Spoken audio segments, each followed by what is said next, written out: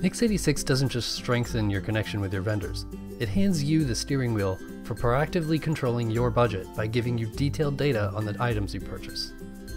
The Item History Report is a great example of this. On both the Order and Reports dashboard, the Item History Report highlights products you've ordered recently that have undergone price changes. This report can be viewed using all order data or limited to just data that has been confirmed during the receiving process. Receiving your purchases through the system ensures all your reports are accurate. The receive order process is covered in a separate video.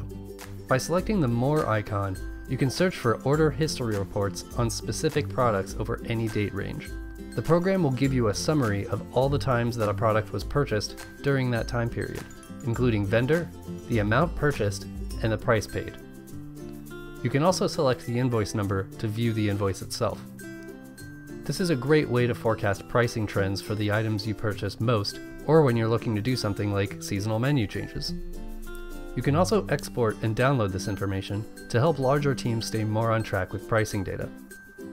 Be sure to check out our other videos to see how you can leverage the power of Nix86 to improve your operation and increase your profits.